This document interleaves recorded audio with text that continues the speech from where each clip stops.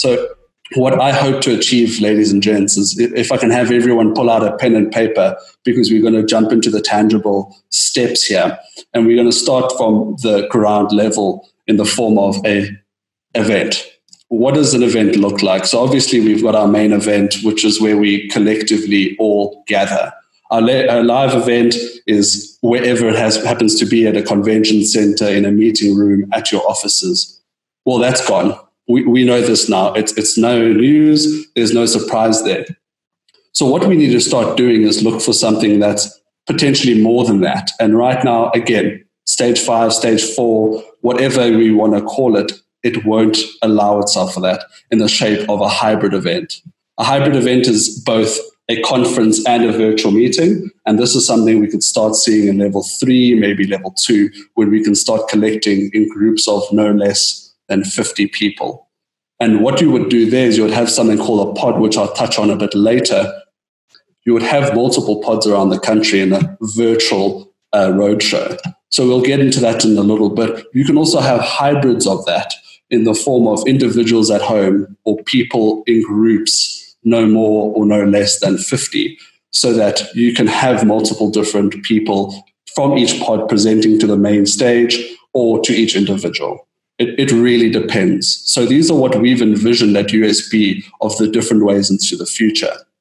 If you're a multinational or conglomerate, it could look like just multiple different pods stationed all over the country. So, by a show in the chat, do you guys foresee something similar by using the number one? Yes or two, no. Would you like to unpack that a little bit? Would you like to maybe put your hands up using Alt Y to ask a question about that before we continue? Cool. Looks like we're all on the same page, which is brilliant. So let's look at a little bit of an analogy. We, we've all heard this word webinar, and we've all heard of a video conference. So, by definition, we are on a video conference right now in the form of Zoom. So you have multiple people. It's, it's usually 100, 155, maybe 200 we could top it out at. Uh, just a little bit of trivia. Zoom in its pro version, you can have 100 people, then you can upscale that to a further 400, bringing the total to 500 for an extra $50.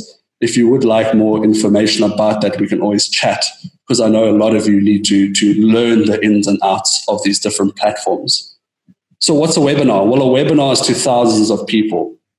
Now, if we look at the difference between that, video conferences, I can see all of you on my screen here in a gallery view. Otherwise, we can converse face to face. Like if I want to speak to Mashambi using speaker view, we each will pop up. I can do that with anyone in the audience right now. In a webinar, we can't do that. It's a one way communication. I am presenting to a faceless audience in a webinar. The most communication you can have in a webinar is through the use of a chat function. Does that all make sense? Do you want me to go into a little bit more depth?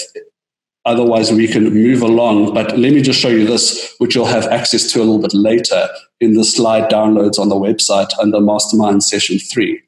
These are the definitions of what the two are. If clients ask, if clients want to know more, these are some of the tangible answers. Other words for a webinar are things like webcast. People call it casting. That comes from the gaming community. I haven't seen Ryan here, but Ryan from last week, he, he casts. He, he will take a video from Rocket League, the game he plays, and he'll cast it onto YouTube and he'll commentate. So that's that's largely where the, the definition stems from. So now the the point of Zoom versus Teams, right? Sorry, I'm rushing through this because I do want to get to the Q and A a little bit later, where I think the magic might lie. Let's talk about Zooms versus Microsoft Teams. It's, been very contested in recent weeks. And maybe in the comments, you can put a couple of the things that you think of the two platforms. Personally and USB, we prefer Zoom. It's a, it's a better platform for communicating with face to face using video. However, there is the security risk, which I do believe that the Zoom people um, are, are working on furiously in the background. Teams a little bit less user friendly, a little bit less interaction, a little bit less uh, gimmicky, if you will. By gimmicky, I mean you can have reactions like the thumbs up or the clapping face uh, or clapping hand, rather, or you could use the share with annotation, or you can have a whiteboard. So, what I mean by annotation is largely this. So, you have multiple formats, you can draw different things using different ones that you have available to you in your annotations. So, you could click on the screen and you could type in text. Right? Can everyone see that hello pop up there? You can draw things. That's a highlighter or a pencil. You can create stamps, little hearts, so that's the different annotation techniques that you can use in Zoom, which aren't as great in Microsoft Teams. A webcast, you can't necessarily do that unless you use something called a virtual whiteboard, which Zoom has embedded within it. So if you go into share screen and you see how that works there, you'll see you can share screen or share a whiteboard. I'm not asking any of you to do it, please. Otherwise, everyone will start sharing screens. But when you have a moment, jump into a Zoom call and play with those different functionalities. By show of thumbs up, is everyone up, up to date with what Zoom has to offer? Is everyone happy? Must I slow down? Are we good? Cool. Brilliant. So if we look at the different webinar platforms, then we look at the different webcast platforms. Webinar Jam, GoToWebinar, BlueJeans are all beautiful platforms to use from that perspective. Listen, these do come with a price point. GoToWebinar is probably your cheaper of the three. Webinar Jam comes in at a $6.99 price tag, but there's different functionalities for each one that you can go and look at on your own time. I don't really want to go into the depth of those because it comes down to preference. A, a very popular one, which I've started to see gain traction, is on24 as an ON and then the numerical 24 com. So have a look there, see if you can uh, find any form of, of uh, insights from those different platforms in terms of price point or, or case studies, usability. Uh, as Mashambi has spoken about earlier, is that we have to try, we have to test, and we have to stress test. And then hopefully we'll get that that that uh, saying. Mashambi, what was it again that clients are supposed to say when you bring a, a solution? Dimostrazione.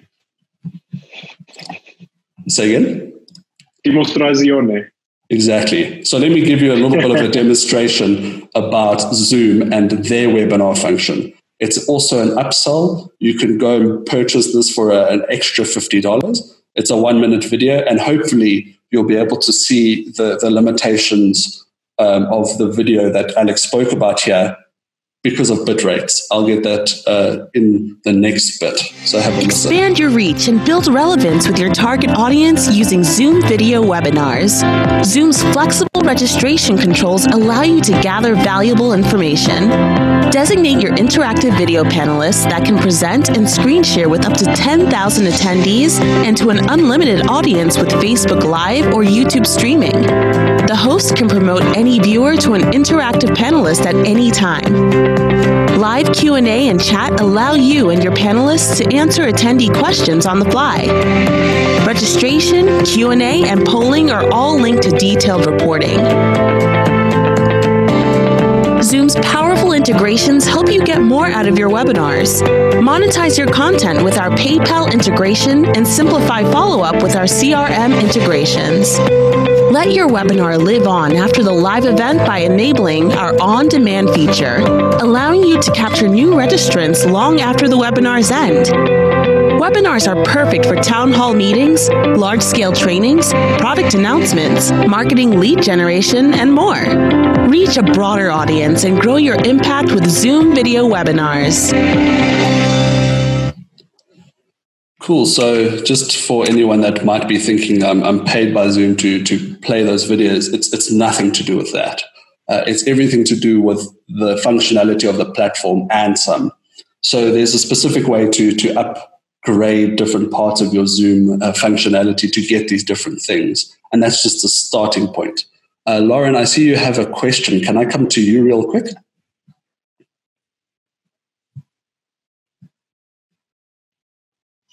Hello, Lauren. Cool. Perhaps that was a mistake. I'll just lower her hand real quick. So, I would like to give you guys a little bit of a gift. Unfortunately, you'll still have to pay for it on the other end, but it answers a lot of questions. how do we get a green screen? Well, the gaming fraternity is a lot of different facets of, of this. And we see this through XSplit VCAM. Write that down. I'm going to quickly hop into my VCAM and set that up so I can show you exactly what that sees. Just give me a second. You guys can just jot that down.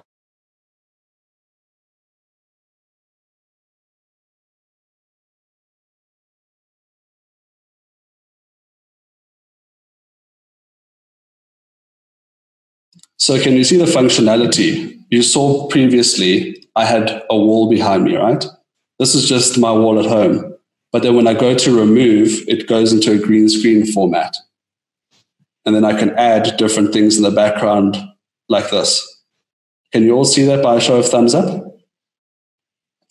Cool. So VCAM is $9.99 excluding VAT for a three month subscription. So I saw a lot of you asking questions how do I do this? How do I do this without a green screen? Well, here's the answer. So there's other functionalities that this allows for. Let me quickly, if you just give me a second, I'll hop into that. And have you seen or heard of a virtual set? Just by a show of number ones in the chat, a virtual set is basically like a newsroom. Yeah, cool, brilliant. A lot of you are doing that. I'm just opening up the software. Some of the softwares you can use is something called OBS Studio. And what I'm doing here is I'm just opening up a preset that I, I had done before we started. Unfortunately, I can't run it at the same time um, as Zoom just because of the bandwidth that it uses. I'd, I'd steal the ability for the speakers to be heard. So just give me a sec while this loads. Uh, so far, guys, are you happy with all the information? Is there any questions you'd like to ask by a show of Alt Y hands? Cool, brilliant. It's still loading the preset. Just give it a second, it's quite big. So, what you'll start seeing is things like this.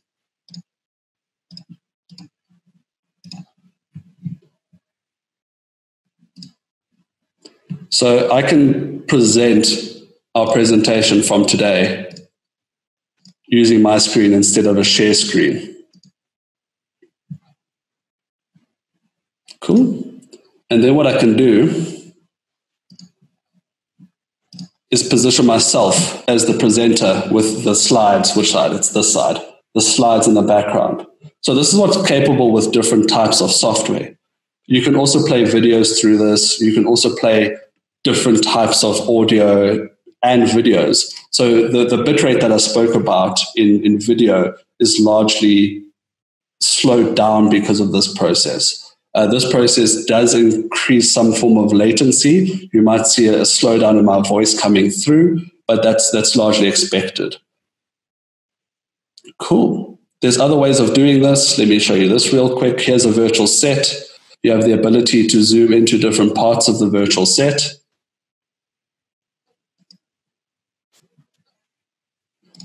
And then you can add in transitions to come into different sets.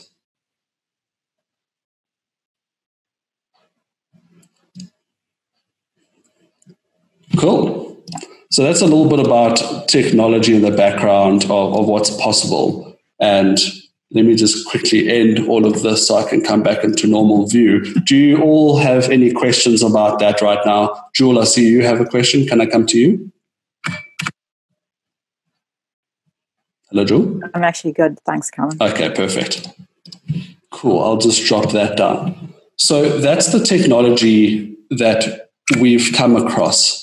There are multiple different ways of doing this. You could potentially have some form of uh, live setup where you have a, a real set with a physical LED screen and a physical stage with multiple different cameras and achieve the same thing. But obviously, right now, we can't because of the, the lockdown. Cool.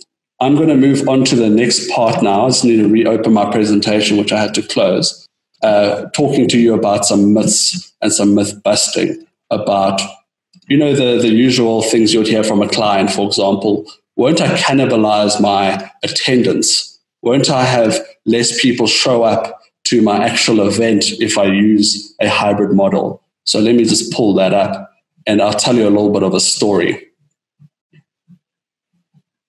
Sorry, it's a bit choppy, guys. Just jumping in and out of technology does lend itself to be a little bit unstable from my side.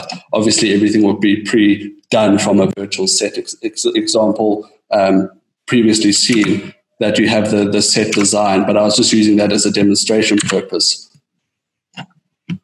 So over here, by a show of hands, uh, maybe one of you can answer this. What are we looking at here? Is it, is it a rugby match or what is it? Yes, Nadia. It is um, American football, and one of the teams are the Patriots. I can recognize. Boom, you know your American football. Brilliant.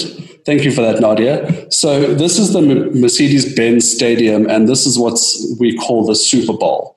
And it's a annual event with some of the biggest viewership levels, basically recorded in sport. So, what that looks like is 99 million people watched it digitally with 70,000 people in the stadium. That means 1% of people were live at this event. Now, what does that mean? Well, it means we have reach. It means that we can do a lot more with a lot more different things from, from the perspective of doing things in Joburg and having it casted to the whole of South Africa. Uh, maybe even Africa. For example, we have an event tomorrow that I'll be facilitating, which is in 54 countries with a thousand odd people all attending at once. This is the first time they've had this level of engagement across any level before. They're very nervous about it naturally, as, as you would be. But the thing is, we're not going to cannibalize the in person engagement because you're expanding it to a whole different thing. I mean, if we think about it from, from the perspective of people not attending events because of family commitments, because of traffic, because of late meetings, if we have a virtual line in, we can just scoot over to, to Google, log in via the browser, and we can still gather that information. So we need to think about it from that perspective, specifically with product launches, media events, etc. So the next thing I want to talk about, and I, I, want to get a gauge from the, the crowd, who knows what Fortnite is? Um, Fortnite, let me get into that real quick, is a game. Your children will probably play it and it's called a, a royale game where 100 people all go into this virtual map and they fight each other in this virtual world. So, in this virtual world, Fortnite has been known to put on some amazing different things. And one of them happened about six days ago called Astronomical. Travis Scott is a rapper, and he performed live to this virtual world in Fortnite. Now, by guess, how many people do you think attended? Just pop it into the comments real quick.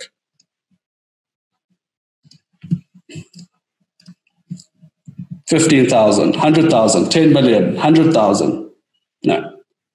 28 million people were in this specific event. Now, if you look over here, get V-Bucks. A thousand V-Bucks is $9.99. So this is just shy of $12, which is about 3 million Rand. And what you do is you get skins to look like Travis Scott so you can play with his virtual character. And Travis Scott eventually arrived within this virtual world in this massive uh, augmented reality version of himself. And he had a concert for 10 minutes. So, the, the question that I want to pose to everyone and probably start having you think about is Has the new normal arrived? Or is it still to arrive? And in my opinion, I think it's arrived because the, the centennials, the generation X, the generation millennials are all already partaking in this. It's the new normal, it's the reality. Our clients might not think that because it's, it's something they haven't been exposed to. And this is what I want to do today. I want to expose you to all these different processes of getting people interacting in a virtual world. It, it, it exists today.